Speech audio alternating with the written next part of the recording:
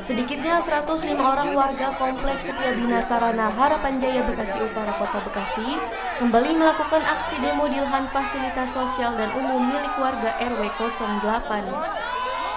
Aksi ini merupakan demo lanjutan setelah Pemkot Bekasi mengeluarkan surat edaran untuk melakukan eksekusi lahan fasilitas sosial dan umum.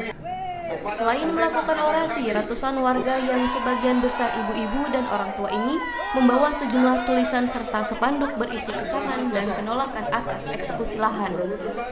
Masa menilai Pemkot Bekasi arogan dan mengambil secara paksa lahan seluas 1.600 meter milik masyarakat. Dari pihak wali kota, dari pihak wali kota melalui suratnya sampai ke kami itu bahwasanya hari ini hmm hari ini pasos fasum kami akan diratakan dengan tanah. Hmm. Yang mana sebelum-sebelumnya hal itu sudah kita kita tolak, kita keberatan untuk lahan fasos fasum ini diambil oleh pihak wali kota. Sebelumnya aksi demonstrasi serupa telah dilakukan warga atas penolakan penyerobotan lahan.